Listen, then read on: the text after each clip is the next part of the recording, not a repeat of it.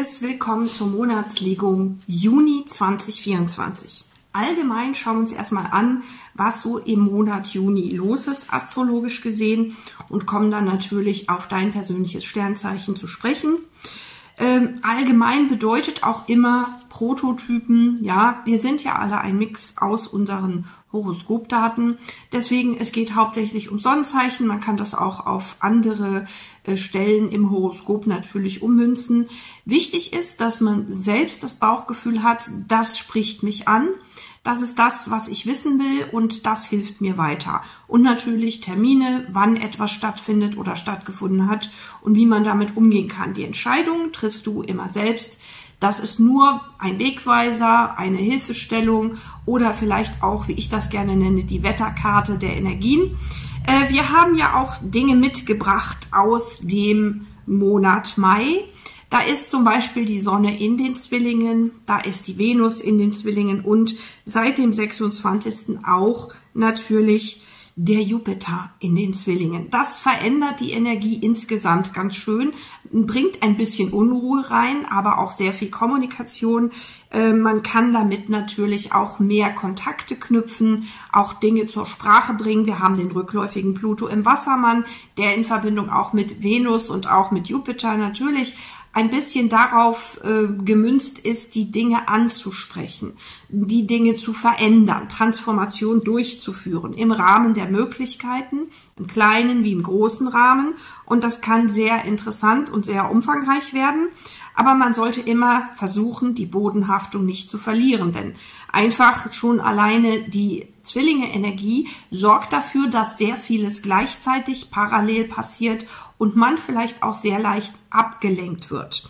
Wir haben zudem natürlich den ähm, Pluto ist rückläufig, wir haben den Uranus im Stier, der eben selbstständig schon Veränderungen bringt und natürlich auch dem ein oder anderen Erd- und Wasserzeichen auch die Möglichkeit gibt, selber etwas zu verändern. Das muss man natürlich auch gut überlegen. Wir haben den Merkur im Stier und äh, da ist eben auch Pragmatismus, langfristige Planung. Man will sich abstimmen äh, über die Dinge und man will auch Verlässlichkeit da reinbringen. Wenn diese Erdenergien nicht mehr so komplex da sind, muss man selber dafür sorgen, dass man eben auf dem Teppich bleibt, auf dem Boden bleibt. Das ist so das Wichtigste, was wir eben auch aus dem Mai mitbringen in den Juni. Und äh, wir haben dann auch ähm, am 3. Juni direkt den Wechsel von Merkur in die Zwillinge. Auch da wieder Kontakte pflegen, neue Kontakte, Austausch. Jetzt muss man auch schauen, wir haben Neptun, Saturn in den Fischen. Einige sind auch, auch gerade die Zwillinge mit Neptun manchmal auch, ja, Irrtümern aufgesessen oder werden von Gefühlen geplagt, Gedanken, Kopfkino, ja, und da sind noch einige andere, nämlich auch die Fische selbst dann haben wir Schütze und Jungfrau, die eben auch ein bisschen mehr darauf acht geben müssen, dass sie nicht den ersten Impulsen folgen, sondern eben auch ein bisschen intensiver nachschauen, wie man das umsetzen kann.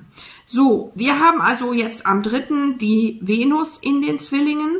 Da kommt dann auch im Beziehungsbereich ein bisschen Lockerheit rein. Also wenn man es zu locker sieht, kann das auch zu Schwierigkeiten führen. Äh, dann haben wir eben auch äh, zum neunten den Wechsel von Mars, der sich ja bisher im Widder befand und eine kurze Zündschnur hatte, wie ich das immer gesagt habe, jetzt im Stier. Da kommt ein bisschen Ruhe rein, aber natürlich auch ein bisschen ähm, ja, Erfahrungswerte und man ist nicht so flexibel, ja. Man möchte die Dinge durchziehen. Äh, Jupiter und Pluto möchten natürlich auch, dass man Dinge umsetzt, verändert, expandiert, könnte man so sagen, ja. Und da muss man eben auch schauen, dass die Dinge Hand und Fuß haben, ja. Und Saturn geht dann auch so ein bisschen Mitte des Monats dazwischen. Wir schauen erstmal, was uns noch erwartet. Am 16. Juni, nee, am 17. Juni haben wir dann Venus und Merkur im Krebs. Da kommt das Gefühl mit rein, ja, die familiäre Energie des Miteinanders, ja, der Kommunikation miteinander und der Fürsorge. Das ist schon sehr wichtig, dass man eben da auch ein bisschen mehr auf das auf den inneren Kreis achtet, also aufeinander zugeht, sich kümmert, ja. Es kann durchaus auch sein, bei sehr gefühlsbetonten Menschen, dass da auch so ein bisschen die Haut sehr dünn ist, dass man sehr leicht eben auch gekränkt reagieren kann. Da sollte man aufpassen. Und was die Finanzen betrifft, sollte man natürlich auch nicht für andere vielleicht zu viel Geld ausgeben, sondern man sollte schon schauen, dass das auch vernünftig passiert. Ähm, wir haben am 20. Juni den Wechsel der Sonne von den Zwillingen in den Krebs. Da ist dann auch nochmal Fürsorge, liebevolle Energie. Das Miteinander ist wichtig, gerade bei den Menschen, die einem nahestehen. Ja, und ähm, ja, es ist wichtig, dass man da auch gefühlvoll aufeinander zugeht, nicht einfach brachial wird oder so. Äh, wir haben den Merkur in den Zwillingen, der vielleicht auch schon mal die Zunge etwas locker sitzen hat. Wir haben dann aber den Mars im Stier, der vielleicht hilft, ruhig Blut, nicht zu hastig. Und ähm, wir haben dann ab 29. den Saturn rückläufig, ja. Und mit dem Saturn rückläufig ist eben auch die Energie da, dass man ein bisschen mal zurückschaut, ja. Ähm, was man gefühlsmäßig umgesetzt hat, von dem, was man sich vorgenommen hat, wie man zu den Dingen steht. Man kann das rückbezüglich immer noch mal aufarbeiten. Man kann sich darum kümmern, man sollte sich auch darum kümmern, ja, und eben auch ein bisschen mit sich äh, ins Reine kommen aber nicht böswillig. Also wenn ihr Kritik übt an euch selbst, geht es darum, das aufzuarbeiten, nicht sich zu drangsalieren oder zu bestrafen. Das ist überhaupt nicht sinnvoll. Ja. Ähm, es geht darum, sich selbst zu verbessern, ne, sich zu optimieren, insofern, dass man mit sich besser klarkommt, sich besser kennt und vielleicht auch Dinge für sich optimiert. Ja, ich schau mal eben, was wir noch haben. Hm, wie gesagt, die expansive Kraft von Jupiter kann dafür sorgen, dass man sich zu viel zutraut, zu viel wagt. Ja, auch da sollte man ein bisschen vorsichtig sein. Ähm, man kann natürlich in der Kommunikation, wenn Merkur in Zwillinge ist, kann man selbstverständlich auch natürlich äh, Dinge umsetzen und charmant sein und entgegenkommt. Ja, das ist natürlich mit Krebs auch so, aber ich sag mal, die Kommunikation obliegt der Zwillinge-Energie. Ne?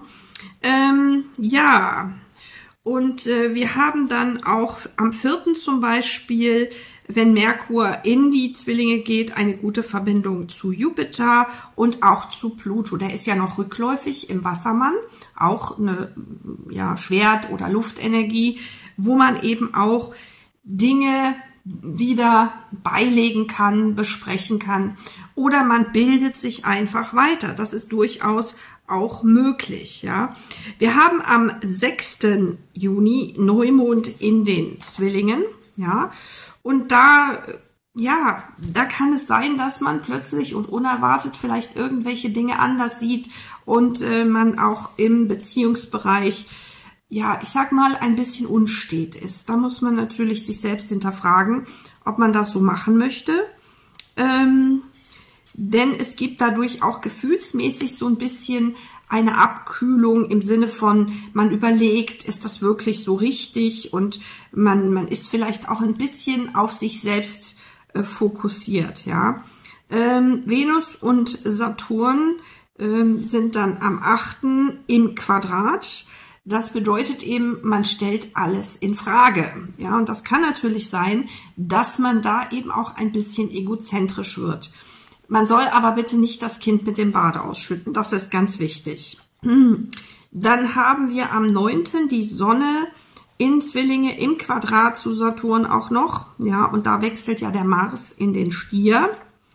Ähm, da ist so ein bisschen dieser Zweifel drin. Mache ich das Richtige? Bin ich auf dem richtigen Weg?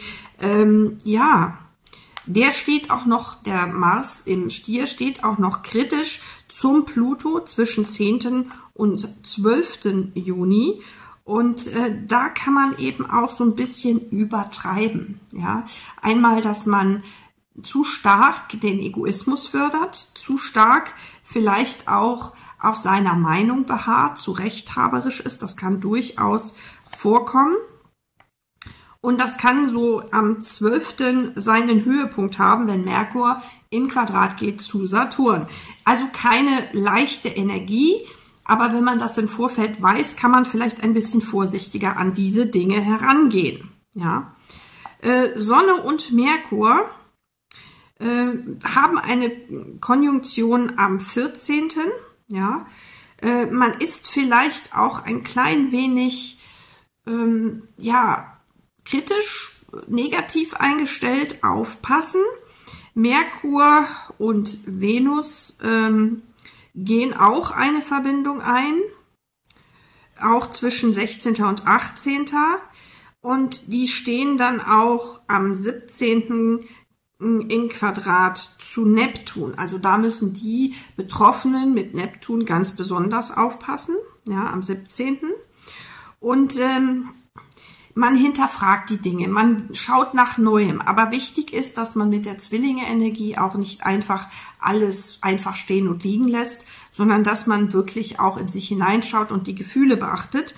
Wir haben ja dann auch am 17., wenn Venus und Merkur in den Krebs wechseln, dass sie sich dann im Laufe des Tages wechselt das, ja, am äh, 17. Und da ist natürlich mit Neptun wieder ein bisschen mehr positive Energie, ja. Das wechselt dann. Also man wird dann sanft, sanfter oder auch ein bisschen gefühlvoller. Das kann nicht schaden, vielleicht ist das dann auch letztendlich eine gute Energie, ja. Ähm, man sollte tatsächlich mit Neptun, das sage ich auch immer in den Kartenlegungen, nicht zu hochfliegende Pläne haben, zu hohe Erwartungen, ja, an sich, an andere, an die Entwicklung der Situation. Man sollte eben gemäßigt daran gehen, ja. Äh, wir haben dann, wenn die Sonne am 20 ähm, in den Krebs wechselt, ja, haben wir vorher auch die Sonne im Quadrat zu Neptun, ja. Und ähm, da ist so eine gewisse Unzufriedenheit, bevor die Sonne dann in den Krebs wechselt. Das wird erst abends der Fall sein. Ja, das bedeutet, dass man da eben auch den Ball flach halten sollte. Ja, äh, wir haben Sommer-Sonnenwende und äh, ja, ruhig angehen, wenn die gefühlvolle Energie kommt, behutsam damit umgehen, sich selbst auch so ein bisschen ja beobachten oder in sich hineinfühlen, wie man sich fühlt, nichts überstürzen, klar. Und ähm, dann haben wir Vollmond im Steinbock am 22. Und äh, da haben wir dann wieder so diese pragmatische Energie auf dem Boden der Tatsachen ankommen, ja. Man kann sich auch Unterstützung suchen, man kann auch mit anderen darüber sprechen. Ähm, Gerade auch am 26. Ja, da haben wir ein Trigon zwischen Merkur und Saturn. Also es geht darum, die Gefühle einzubinden, die Sachlichkeit, also Realität und Gefühl wieder miteinander zu verbinden. Und das ist eben auch mit Venus und Mars äh, ab 27. sehr schön, dass man eben nicht nur auf der Gefühlsebene, sondern auch auf der sachlichen Ebene miteinander kommuniziert und sich auf Dinge einigen kann, wo man sich dann auch gut fühlt. Und diese Energie hält auch noch bis Juli an. Äh, man hat eben mehr Einsicht, was den oder die andere bewegt und kommt sich dadurch näher, hat eine tiefere Verbindung. Ähm, dann haben wir eben auch eine, ja, wir haben ja gesagt, Saturn wird rückläufig am 29. Da geht es wieder darum zu hinterfragen, wie habe ich das umgesetzt im Gefühlsbereich und was gilt es da noch zu beachten, zu verbessern. Ne? Äh, am 30. haben wir dann auch ein Sextil zwischen Merkur und Uranus. Ja, Merkur ist ja jetzt in Krebs, Uranus ist im Stier, eine gute Verbindung.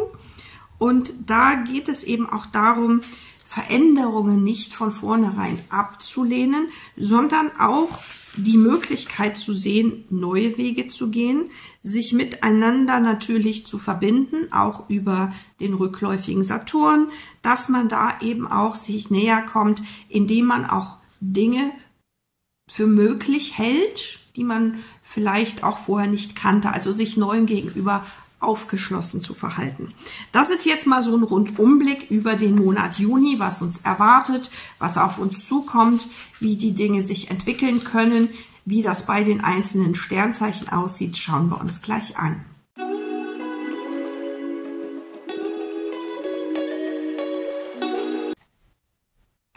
Herzliches Willkommen, mein lieber Skorpion. Wir sind im Monat Juni und wir wollen uns anschauen, was wir astrologisch erstmal für den Skorpion haben. Allgemein natürlich und auch nur fürs Sonnenzeichen. Man kann das auch auf die anderen Besetzungen im Horoskop anwenden, aber wir sind halt ein Mix von all diesen Besetzungen in unseren Häusern und so weiter, dass wir da eben einfach nur mal eine Orientierungshilfe brauchen, wie wir durch die Energien kommen. Und da möchte ich dir eben auch zu Beginn direkt sagen, der Wechsel von Jupiter Stier in Jupiter Zwillinge war für dich ein bisschen nervenaufreibend, war für dich so ein bisschen Panik und ein bisschen zu viel los, ja, ein bisschen verwirrend oder auch ärgerlich zum Teil, kann durchaus sein. Bitte beruhige dich, es ist nicht so schlimm, wie es sich erstmal anfühlt. Wir haben ja auch zum Ende des Monats äh, Mai bis jetzt hier in den Juni die Möglichkeit, über Dinge zu sprechen, sie zu klären. Da brauchen wir eben auch ja, ich sag mal, Disziplin, Ruhe, innere Ruhe. Also du musst jetzt auch selbst dafür sorgen, dass du eben Grenzen setzt, gesunde Grenzen setzt, freundlich bleibst und nicht zu harsch auf andere reagierst, die vielleicht sehr temperamentvoll und unbedarft äh, auf dich zustürmen oder so. Ja, das ist nicht böse gemeint. Es ist einfach, jetzt ist viel los und wir wollen das gerne schnell regeln. Gemach, gemach. Ne? Lass dich davon nicht kirre machen. Äh, lass dich auch von deinen Gedanken, Gefühle nicht zu sehr ins Negative ziehen. Es ist wichtig, dass man eben selber auch diesen Pragmatismus, der vielleicht jetzt teilweise nicht mehr so da ist und viele Dinge, die nicht mehr so leicht fallen, dass man selbst dafür sorgt. Ja, ruhig Blut, auf dem Teppich bleiben, erstmal die Fakten klären und dann sehen wir weiter. Ja, so in diesem Sinne. Ähm, am 11. hast du eben auch eine Energie, wo du dann, ja, wir haben dann den Mars im Stier und dieser Mars im Stier geht dann in Quadrat zu Pluto. Das kann bedeuten, dass du am 11. leicht gereizt ähm, reagierst, ja, oder eben auch ein bisschen hm, ja gestresst bist. Wenn du das merkst, dann versuche da eben so ein bisschen Distanz zu wahren, dich zurückzuziehen, wenn es geht. Es wäre nicht hilfreich, wenn du an diesem Tag dann total explodierst oder so. Es wäre gut, wenn du da ein bisschen für einen Ausgleich sorgst. Besser wird's dann, äh, wenn eben auch am 17. Venus und Merkur in den Krebs wechseln. Das ist natürlich für dich eine unglaubliche Beruhigung, ja. Da fühlst du dich wohl behütet, ne? Und ähm, da ist die Fürsorge da, also Fürsorge für dich, Fürsorge für andere, du bekommst sie, du gibst sie. Das ist sehr schön. Das ist aber dann erst an diesem 17. abends, ja.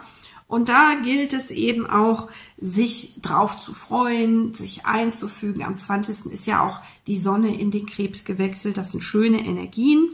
Ja, und dann bist du danach eben auch so ein bisschen mehr so die Kompetenz im Sinne von, komm, wir machen das, ich helfe dir, ne, ich bin eben da für dich, du bist da für mich und so weiter.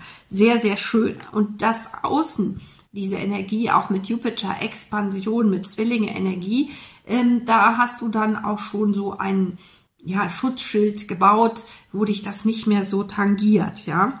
Und Ende des Monats haben wir eben auch diese Verbindung Merkur-Uranus, ja. Merkur ist dann ja in Krebs und Uranus im Stier, Sextil. Man kann weiterhin positiv über Dinge sprechen, man ist sich nahe, man, man hat eben auch die Möglichkeit, miteinander bis in den Juli hinein Dinge zu klären, zu besprechen und ist sich da eben auch sehr einig und das fühlt sich richtig toll an. Also freu dich auf Ende des Monats, da ist das eben auch sehr schön, ja. Im privaten wie im beruflichen läuft es. Es ist halt für dich als Skorpion auch wichtig, dich nicht so leicht aus der Fassung bringen zu lassen, dich nicht zu schnell aufzuregen, Ruhe zu bewahren, ja. Wenn die Erdenergie irgendwo fehlt, zu sagen, ich schaffe diese selber, ich bleibe auf dem Teppich. Das ist eine Beruhigung für dich und das sorgt auch dafür, dass du weniger Ärger hast und die anderen auch. Manche sind halt mit dieser expansiven Jupiter und Zwillinge Energie manchmal ein bisschen über euphorisch, aber es ist nicht böse gemeint. Es ist die Energie, die die Leute antreibt, dann so ein bisschen, ja, vielleicht über ihre Kompetenzen hinauszugehen, was zu riskieren, ja. Aber es ist nicht gegen dich gerichtet, ja. Und das ist eine sehr schöne Energie dann auch für dich und äh, kann sehr leidenschaftlich, sehr schön werden, auch in Beziehungen. Also, wenn du dich bis dahin eben durchwurstelst, wird das auch sehr angenehm. Und vielleicht ist das auch für dich eine Erkenntnis, wie du mit dir selbst umgehen kannst. Wir haben ja den rückläufigen Saturn ab 29. auch wichtig, wie du mit Gefühlsdingen umgehst, wie du dich auch nicht zu sehr vom Außen beeinflussen lässt und so weiter. Das kann sehr nützlich und sehr hilfreich sein. Ich wünsche dir damit einen wunderschönen Juni und wir schauen uns das für dich in den Karten an.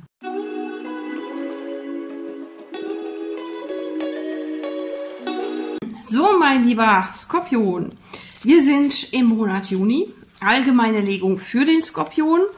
Wir haben ja gehört, dass du nicht zu pessimistisch an die Dinge rangehen sollst. Auch wenn, sagen wir mal, durch die Zwillinge-Energie so ein bisschen drunter und drüber geht. Da heißt es Nerven bewahren. Ja. Ähm, am 11. besteht die Gefahr, dass du gegebenenfalls ähm, ja da so ein bisschen zu heftig reagierst. Wir haben ja auch noch den Mars im Widder, das könnte eine Rolle spielen. Auch mit dem rückläufigen Pluto im Wassermann könnte man die Faxendicke haben. Äh, da heißt es dann, ja, man sollte überlegen, welche Konsequenzen das nach sich zieht und ob man die tragen möchte, ja. Also immer gut überlegen. Ich sag ja, die Erdenergie müssen wir uns mehr oder weniger auch ja, selber denken oder danach handeln. Wir haben ja noch den Uranus im Stier, der dabei sehr nützlich und sehr hilfreich ist. Ähm, gute Stimmung bis achten. Kommunikation ist großartig, also auch gerade, ich denke, im persönlichen Bereich klappt das sehr gut. Ähm, auch am vierten. Und dann haben wir, ja, ähm, auch, ja, wenn am 17. dann die Energien des Krebses kommen, also da ist ja Venus und Merkur gleichzeitig am 17., die da in den, ähm, also wechseln, in den Krebs wechseln. Ähm, das beruhigt auch so ein bisschen deine Nerven, auf jeden Fall, ja. Und ähm, ich denke, dass du auch gesprächsbereit bist, trotzdem weiterhin und auch in die Tiefe gehst. Das ist sehr schön. Ähm, du hast zum Ende des Monats hin auch viele schöne Dinge zu erwarten, auch was die Kommunikation, den Austausch betrifft. Und mit dem rückläufigen Saturn in den Fischen am 29. oder ab 29.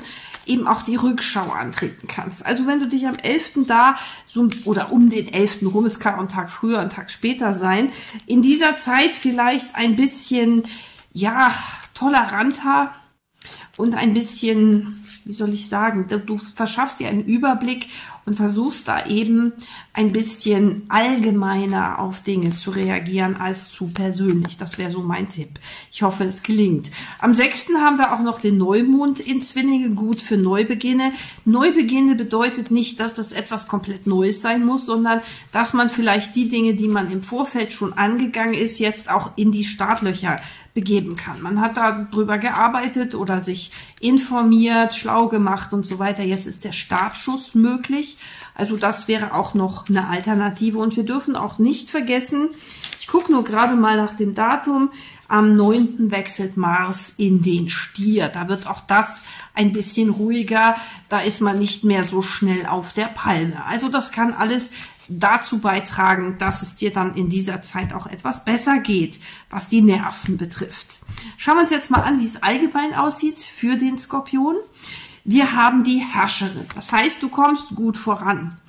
Ähm, es ist keine Eile vonnöten, auch wenn man manchmal das Gefühl hat durch die Zwillinge-Energie, sondern bedachtes Handeln mit dem weitermachen, was sich bewährt hat natürlich, ja, und auch, ja, ein bisschen das Gesamtbild überblicken.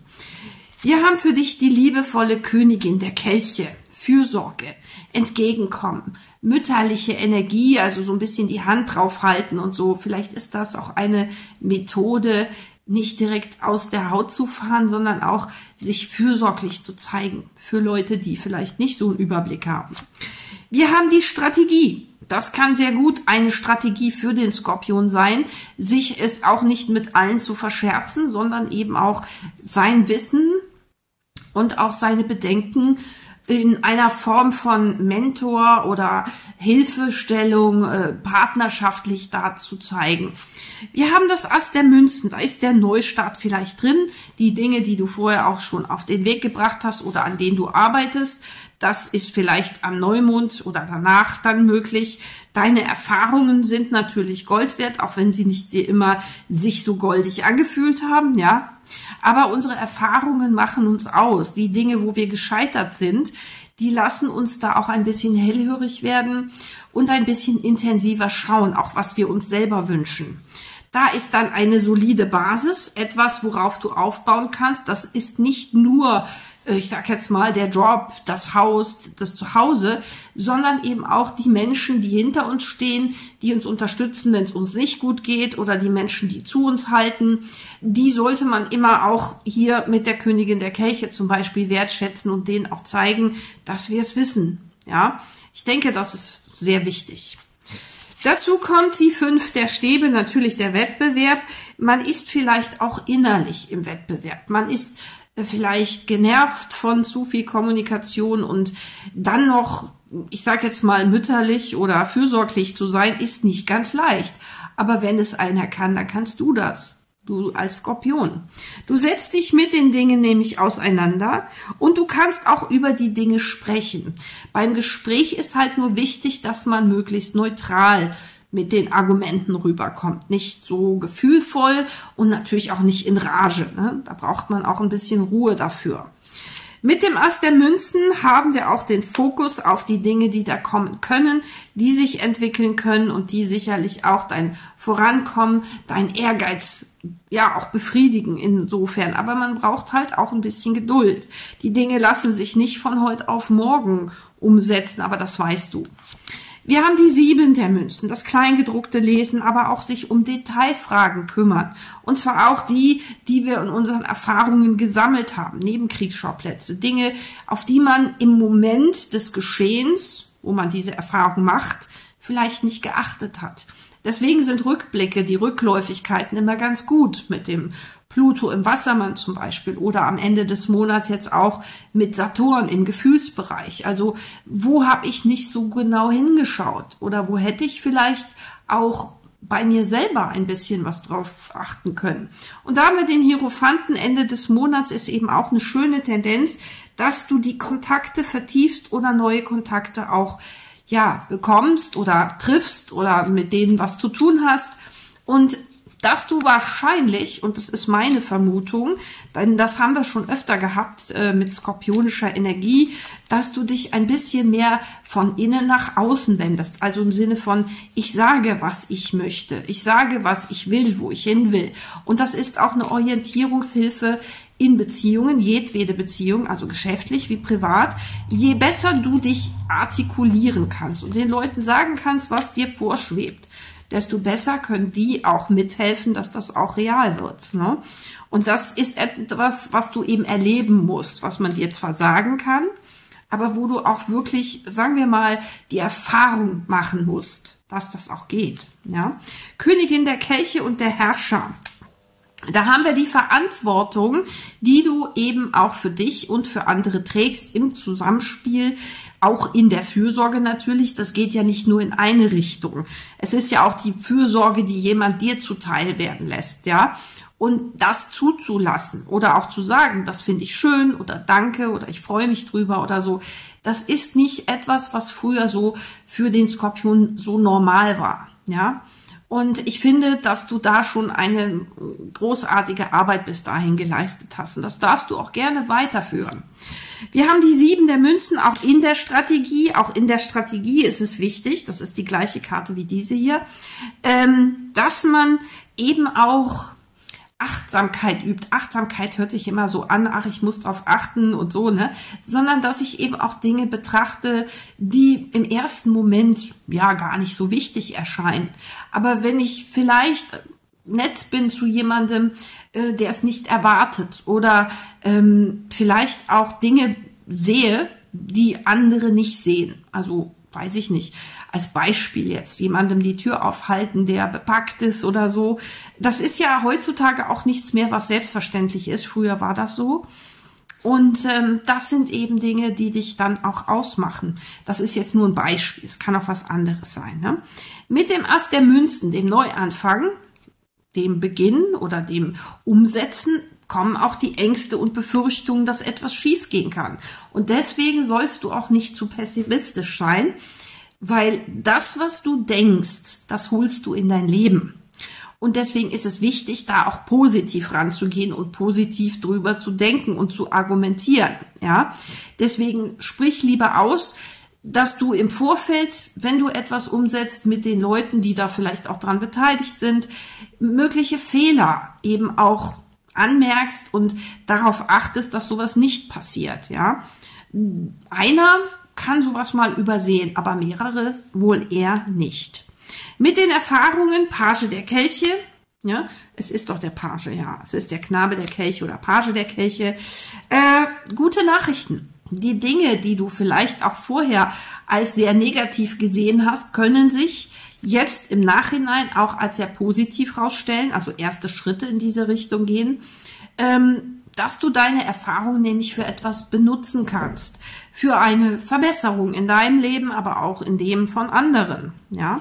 Und das solltest du dann natürlich umsetzen. Mit den vier der Stäbe, der soliden Basis. Ich sagte ja, das ist nicht nur Haus, Heim, Familie. Das ist auch Kontakte, Zwischenmenschliches, ne? Verlässliche Kameraden, Freunde, Bekannte, ja. Da haben wir die Welt. Da wird vielleicht auch ein bisschen ausgemistet, die Leute, die sich bewährt haben, bleiben natürlich und können mit dir sozusagen den Neustart hier eben auch gut generieren, können dafür sorgen, dass das auch klappt.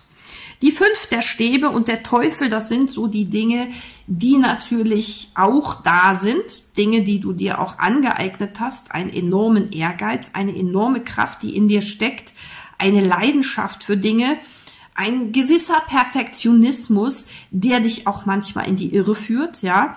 Perfektionismus gibt es nicht, ja. Man muss immer damit rechnen, dass selbst die perfektest geplanten Dinge nicht funktionieren oder etwas dazwischen kommt. Deswegen sollte man gar nicht so extrem in den Perfektionismus gehen, sondern immer auch ein Türchen offen lassen für Flexibilität, ja. Und das ist hier etwas, womit du ab und an mal zu kämpfen hast, ja. Ähm, vielleicht auch mit Ideen von anderen, die du vielleicht wahnwitzig findest und denkst, das wird nie was. Trotzdem kann da was dran sein, ja. Vielleicht ist die Idee in ihrer Grundform nicht perfekt, aber sie hat etwas in sich, was in vielleicht anderen Bereichen oder einem ähm, bestimmten Bereich sehr ausschlaggebend sein kann. Also auch so ein bisschen über den Tellerrand schauen. Fünf der Schwerter, Ritter der Schwerter. Nun, man kann, wenn man aufgebracht ist oder wenn man irgendwas ähm, sehr oder über irgendwas sehr wütend ist und so kann man sehr schnell aus der Hose fahren. Und da haben wir ja das Datum 11. Du könntest auch an diesem Tag oder einen Tag vorher, einen Tag nachher ist auch drin, könntest du auch völlig daneben liegen. Deswegen ist da äußerste Vorsicht geboten und eine gewisse Strategie wäre schon angebracht, ja. Du könntest nämlich dann völlig daneben liegen und dann im Nachhinein nicht wissen, wie du das zurücknehmen kannst. Deswegen sei da bitte vorsichtig. Der Fokus liegt auf der Königin der Kelche. Das ist wieder diese Energie, die Verantwortung, die man eben auch nicht nur für die Sache hat, sondern auch für den Frieden, die Harmonie untereinander und auch für die Kommunikation in Bereichen, die jetzt über das normale Alltägliche hinausgehen, freundschaftliche Gesten, ähm, Unterstützung, vielleicht auch, dass jemand dir erzählt, äh, was in seinem Privatleben los ist im Job, ja, und du hast eine Idee, wie du dem helfen kannst, dann solltest du das vielleicht auch tun. Ja, es könnte sich ja in irgendeiner Form irgendwann später auch in irgendeiner Form bezahlt machen. Ja, das klingt jetzt so hart, Ich meine das gar nicht mit finanziellen oder materiellen Dingen, sondern mit Unterstützung, mit dem Gefühl von Gemeinschaft und das Wir ist wichtig, ja. Die Detailfragen hier mit dem Ritter der Kelche, ja. Man kann Details besprechen, man kann Details verändern, man kann auch, wie ich sagte, auf diese Details achten im Gespräch, im Tun, im Handeln, auch was die Erfahrungen betrifft, ja. Und ähm, man kann sie zu seinem Wohl nutzen, ja. Gerade die Dinge, die vorher schiefgelaufen sind. Und wie gesagt, manche großen Dinge stehen und fallen mit wirklich mickrigen Kleinigkeiten, ja. Und deswegen ist es so wichtig, die nicht ganz außer Acht zu lassen. Mit dem Hierophanten kommt die 10 der Stäbe, dass man eben gewisse Hürden, Hindernisse, Überwindungen braucht, ja, oder die man auch schafft. Aber es braucht halt seine Zeit. Das geht nicht von heute auf morgen. Vertrauen baut sich auch nicht von jetzt auf gleich auf. Und wir alle, wie gesagt, sind auch fehlerbehaftet. Wir haben auch alle unsere Macken, ja. Und deshalb ähm, ist da es vielleicht manchmal auch schwierig, eine gewisse Toleranz zu üben. Aber es macht sich letztendlich bezahlt. Also man muss da natürlich gesunde Grenzen setzen, klar. So, wir haben das Murmeltier. Zeit loszulassen. Vielleicht geht es nicht mal so um Personen, sondern vielleicht geht es eher darum, Einstellungen, Vorstellungen, ähm, gewisse Muster einfach mal zu verändern. Ja, also natürlich freiwillig. Ne? Also ich schlage dir das hier alles nur vor.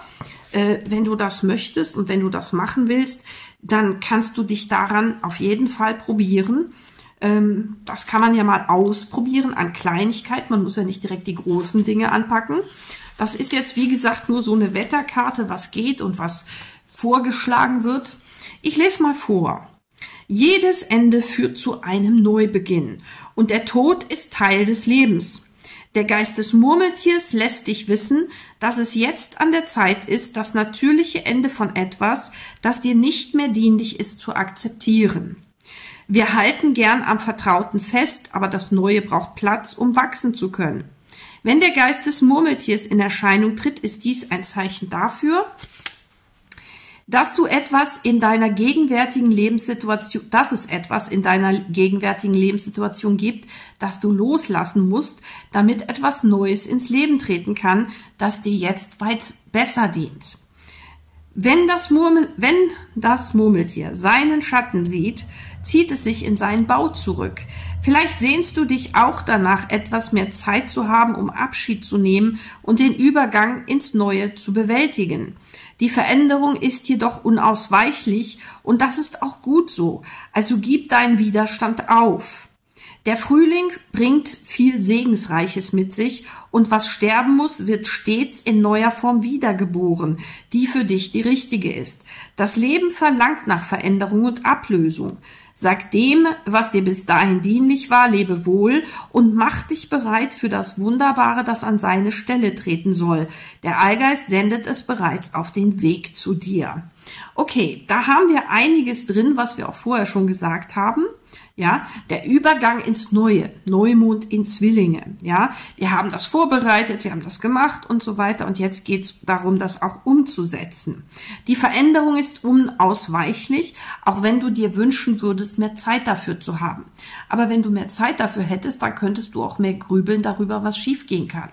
Deswegen ist es vielleicht auch ganz gut, eine gewisse Flexibilität an den Tag zu legen und sich auch ein bisschen Toleranz, äh, ja, mit Toleranz daran zu wagen und auch mal ein paar, ich sage jetzt mal, Verantwortlichkeiten abzugeben. Ja, zu sagen, das ist jetzt dein Part und du übernimmst das jetzt und ich mache das und das. Ne?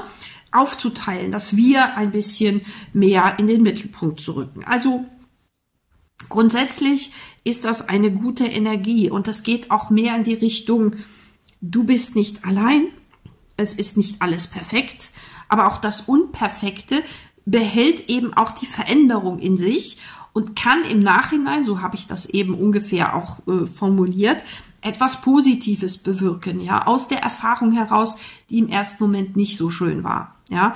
Also man kann es immer so wie eine zweiseitige Münze sehen. Ne? Alles, was Negatives kommt, hat oder trägt in sich auch den positiven Aspekt, der einem aber erst viel, viel später bewusst wird. Also ich kann dir nur sehr viel Glück wünschen. Das sieht sehr, sehr herausfordernd, aber auch sehr, sehr erfolgversprechend aus. Ne? Und es kommt natürlich darauf an, ob du das machen möchtest, ob du bereit bist, ob du dich manchmal auch überwinden kannst, Dinge anders anzugehen oder darüber nachzudenken oder vielleicht offener zu sprechen. Das ist deine Entscheidung, ob du das möchtest. Ja, niemand will dich dazu drängen. Es ist ein Vorschlag und ich hoffe, er bringt dir ganz, ganz viel tolle Erlebnisse und tolle Kontakte und du kannst dich ein Stück weit aus diesem vielleicht auch sehr anstrengenden, ich muss perfekt sein und ich muss was leisten, ein bisschen lösen. Würde ich dir auf jeden Fall sehr wünschen. Lieber Skorpion, wir schauen uns gleich noch an, wie das in Beziehungen aussieht und ich sag mal, bis gleich.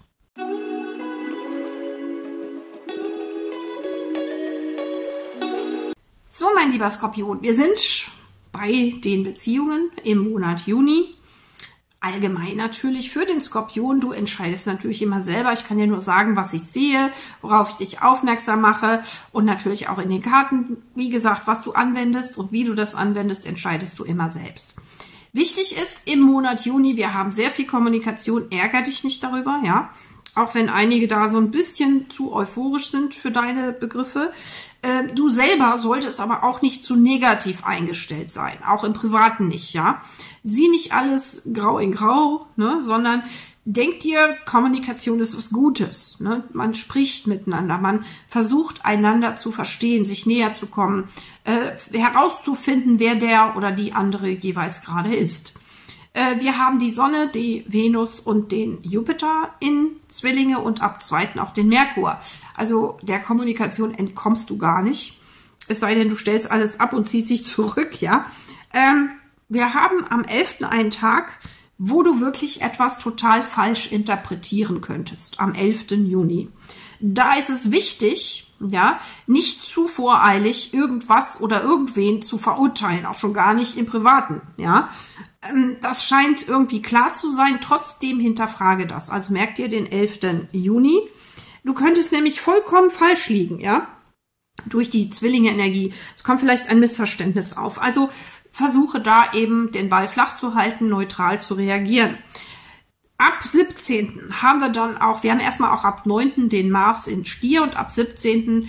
Merkur und Venus im Krebs. Das ist für dich so oh, eine Erholung, ja. Es wird fürsorglich, nett, familiär, so magst du das. Ne? Es wird ein bisschen gefühlvoller, intensiver, ja, und auch vertrauter, sag ich mal. Ne?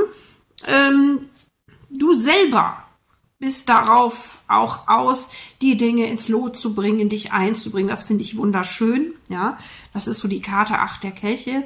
Ich weiß noch nicht, ob sie in der Legung vorkommt, werden wir ja gleich sehen. Ähm, sich öffnen, ne? neuen Dingen auch öffnen, neuen Entwicklungen öffnen, sich weiterentwickeln. Ne? Mit dem 29. haben wir ja dann auch den ähm, den Saturn rückläufig. Auch dahinter fragt man ja, ob man da vielleicht auch was anders machen kann in Zukunft. Das ist auch nicht verkehrt, ja. Du bist auf jeden Fall am 21. und 26. Juni offen für Neues. Und das solltest du natürlich dann noch ausprobieren, ne, im Rahmen deiner Möglichkeiten. Es sind neue Kontakte möglich, es sind in allen Bereichen, also nicht nur privat. Ich denke, in der Partnerschaft ist es auch wichtig, sich auszutauschen, sich Zeit füreinander zu nehmen und auch über Dinge zu reden. Ich weiß, du bist ein eher verschlossenes Sternzeichen, aber ich glaube, dass so Herzensdinge, Gefühlsdinge und das Miteinander auch im Privaten ab und an mal besprochen werden sollen. Und das ist hier jetzt, wie gesagt, auch in diesem Monat Juni eine gute Zeit, um das mal anzugehen. Deinem Gegenüber vielleicht auch mal ein paar Dinge zu erklären, die er oder sie gar nicht wissen kann. Das wäre auf jeden Fall eine schöne Geste, weil es dir wichtig ist, auch verstanden zu werden. Aber wir schauen uns das jetzt für dich in den Karten an.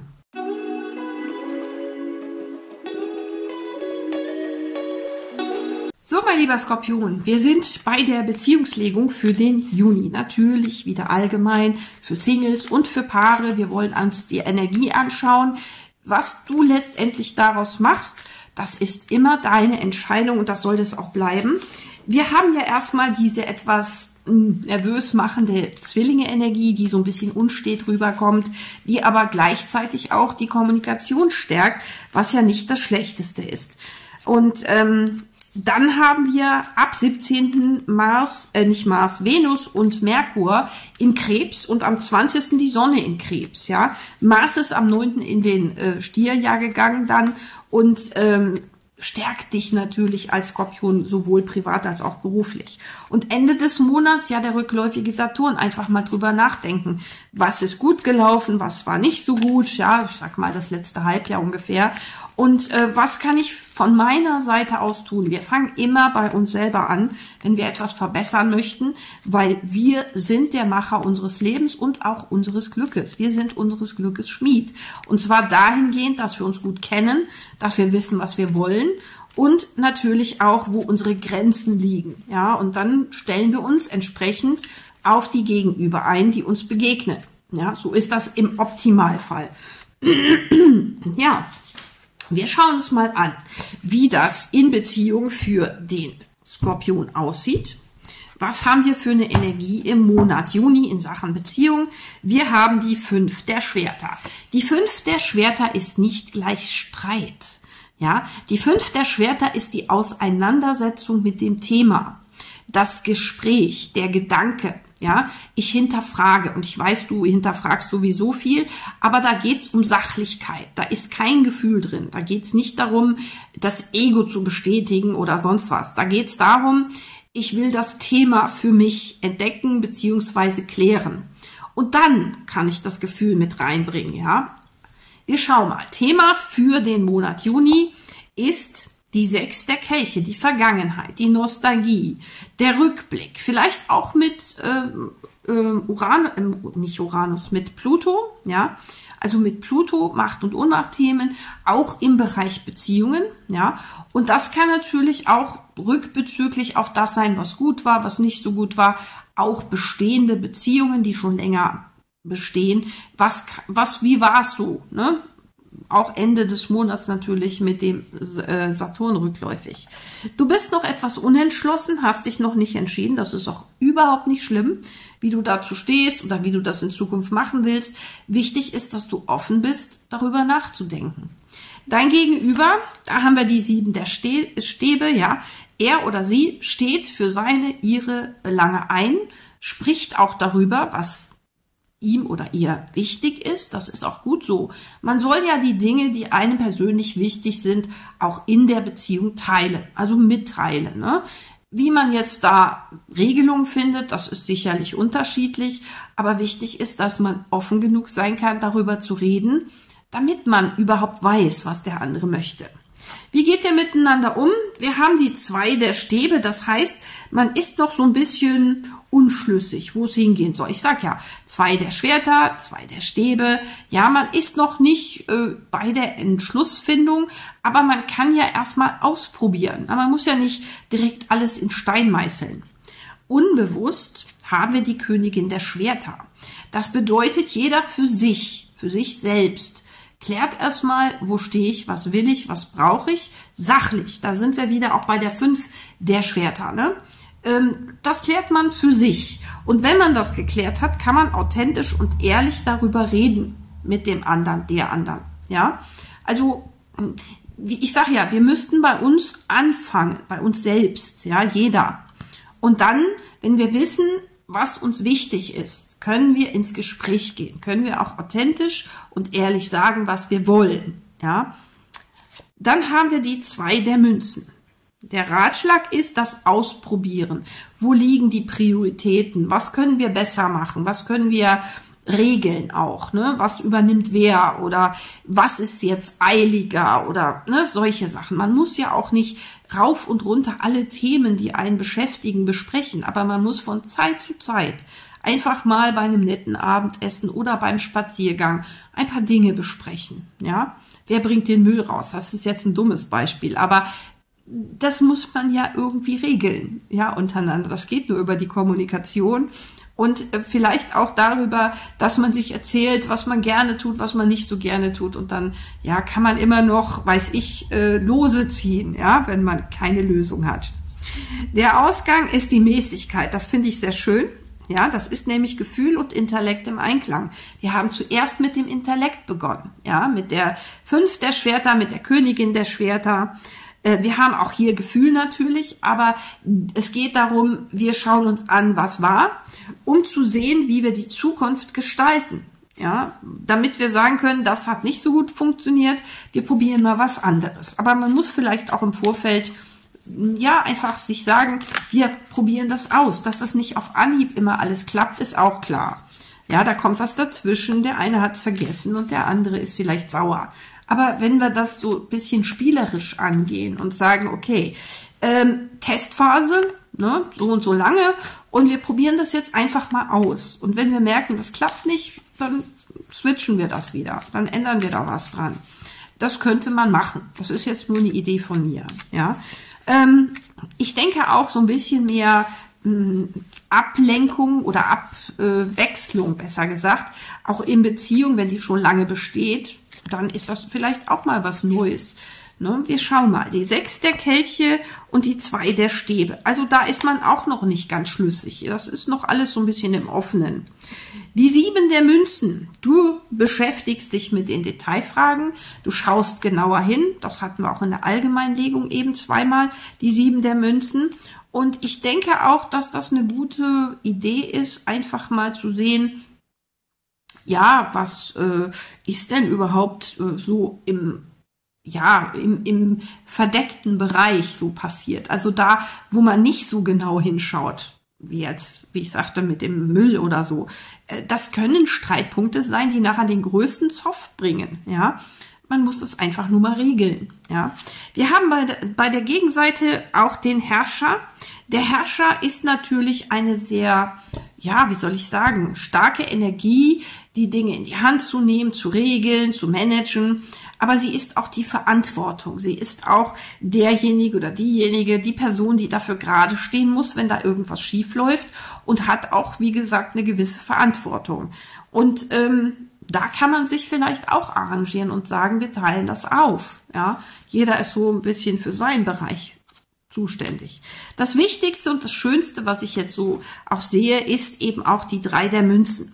Ja, selbst wenn noch nichts entschieden ist, noch nichts ausprobiert ist, man sich noch nicht schlüssig ist, man hält zusammen. Das Team, die Gruppe, die Kameraden sozusagen. Das finde ich gut, ja, dass man eben ähm, Erfolg haben möchte äh, miteinander und da eben auch was für tut, sich einbringt. Einbringt im Sinne von Ideen, Gespräche, Vorschläge, ja, auch schöne Momente ja, also auch mal Ablenkung oder was unternehmen und so, ne, dass man sich darum bemüht. Wir haben unbewusst noch den König der Stäbe. Da ist Leidenschaft natürlich mit drin. Da ist momentan auch die kurze Zündschnur drin, wo man vielleicht auch manchmal ein bisschen überreagiert. Und auch das kann man vielleicht auch regeln, wenn man für sich selbst überlegt, was bringt mich auf die Palme und wie kann ich da so ein bisschen versuchen, das, den Ball flach zu halten, die Sache nicht so eskalieren zu lassen, wenn mich was aufregt. Ich denke da an den Elften oder so, ne?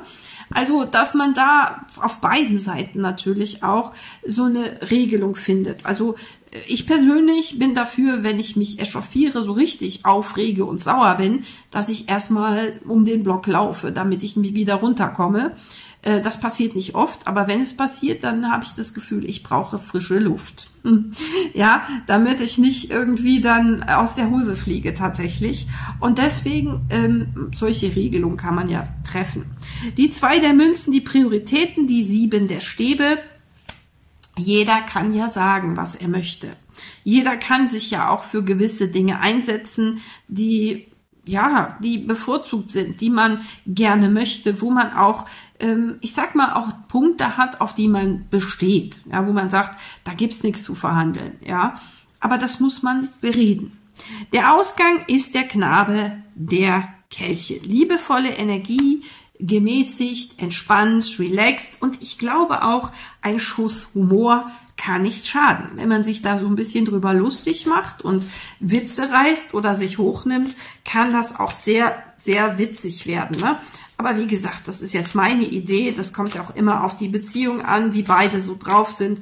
Das kann man nicht verallgemeinern. Ja, ähm, momentan ist es halt ein bisschen chaotisch. Ja, nicht nur beim Skorpion überall. Das macht es auch nicht besser. Aber ähm, man kann auf jeden Fall sagen, okay, momentan rotiert alles ein bisschen.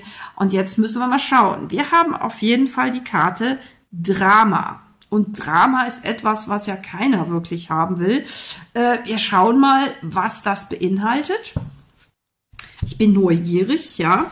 Äh, Drama ist immer etwas hoch eskalieren lassen, ne? etwas äh, vielleicht auch schlimmer machen, als es tatsächlich ist, durch irgendwelche Sachen oder durch ähm, ja, zu viel Stress oder so. Ich lese erstmal vor.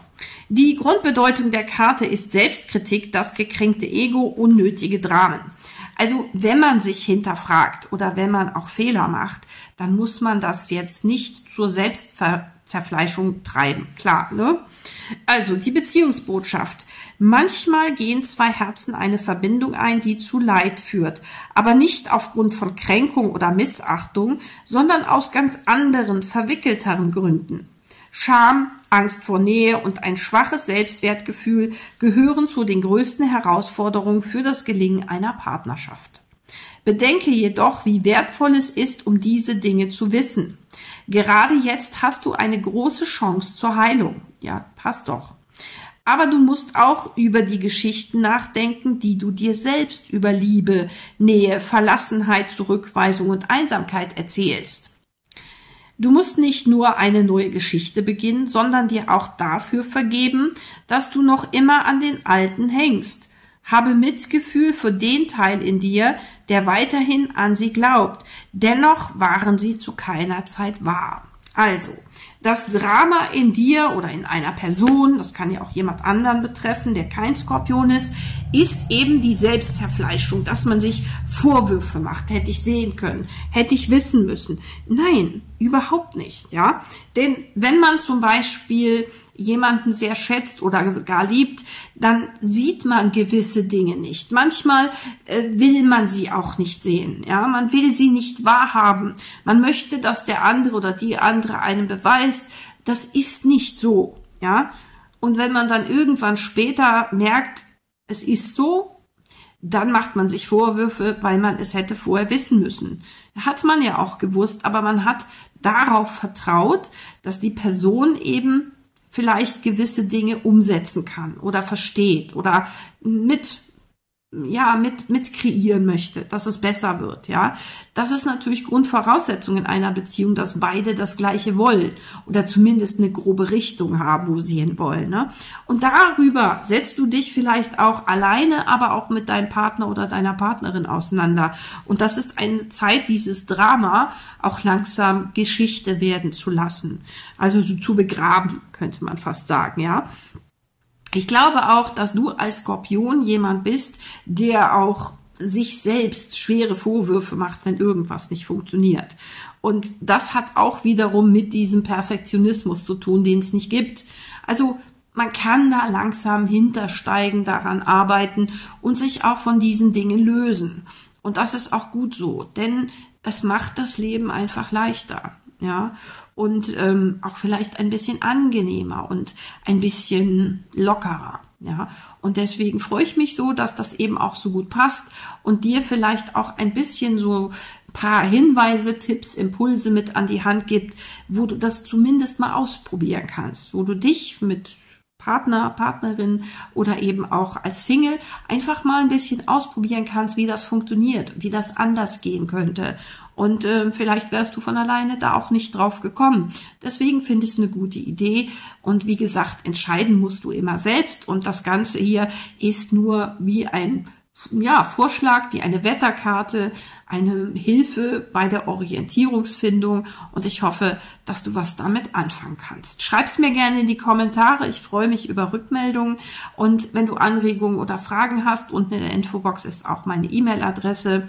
Wenn es dir gefallen hat, lass gerne ein Däumchen hoch da Und äh, für Legungen bitte auch die E-Mail-Adresse unten nutzen. Ich wünsche dir natürlich einen zauberhaften, schönen Juni mit viel Erfolg und aber auch mit mehr Spaß, Humor und ein bisschen Lockerheit. Also alles Liebe von mir und bis bald.